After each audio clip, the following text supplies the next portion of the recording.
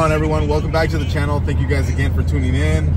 So it's 8 o'clock in the morning and I know I told you guys yesterday that we were going to do a, a walk around on the car today but I think we'll save that for another day and the first thing I want to do to this car is tint.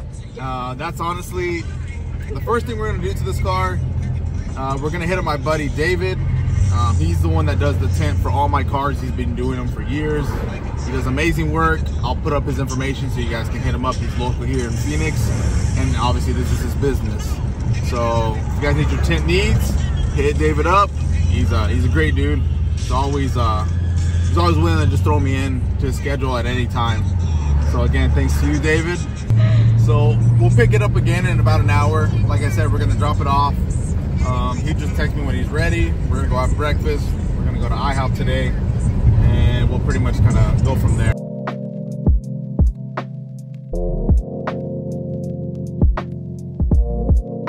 Other TA that I had, I had the, obviously the strip right here.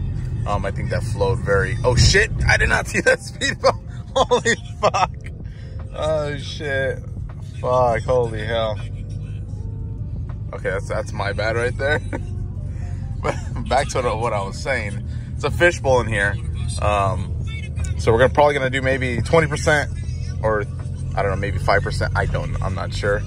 Cause the last one, the last TA I had, I only had, believe it or not, 20% and with the tint obviously in the front and it made it look real good. So we'll see how that looks.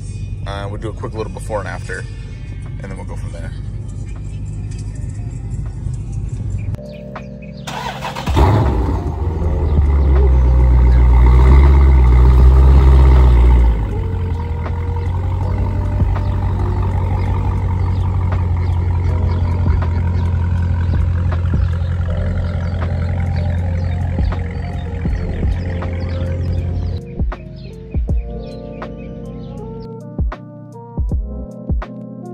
Currently, we're heading back to David's house. He just texted me saying that the car is done, ready to go for pickup.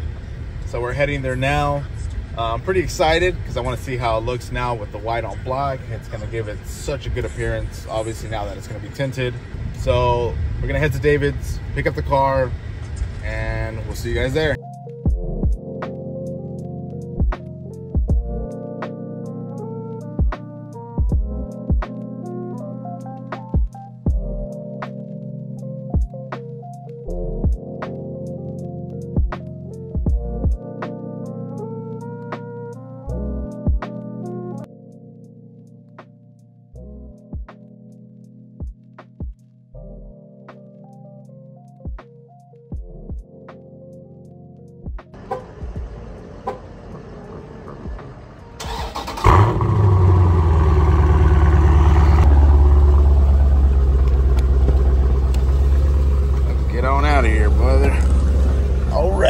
Oh my God, it looks so much better.